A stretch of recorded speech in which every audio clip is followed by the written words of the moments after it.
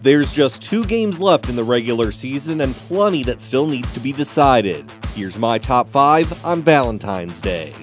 At number 5, it's the Minnesota Duluth men. UMD got back on track this weekend with a couple of home wins over Minot State and U-Mary. And while the Bulldogs can't win the North Division, they are just one game behind MSU Moorhead for the 2 seed in the North and the all important first round bye that comes with it. They're still a dangerous team even if they stay in the third spot, but the opportunity is there. Coming in at number 4, the Augustana women. The number one team on the Taking Shape countdown for the past two weeks takes a bit of a tumble after their loss on Saturday to Minnesota State.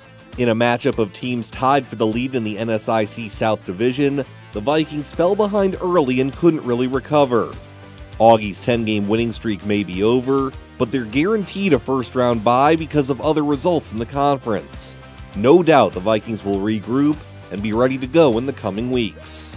And at number 3 is Augie's counterpart from Saturday in Minnesota State.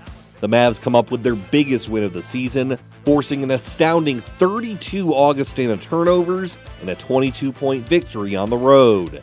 MSU now has a one game lead in the standings for the South Division title, with two to play, as well as the tiebreaker edge by defeating Augustana twice this season. The Mavericks' formula for winning all season long has been their pressure defense, and that pressure was applied at exactly the right time.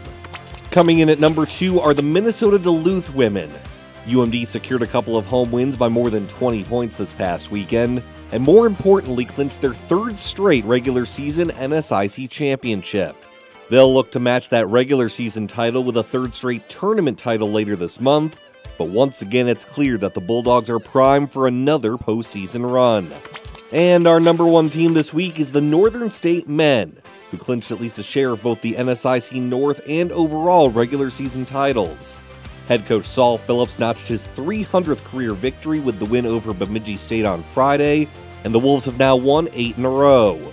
Northern State's streak of four consecutive tournament titles ended last season, but they'll be one of, if not the favorite, to make it five and six years soon enough.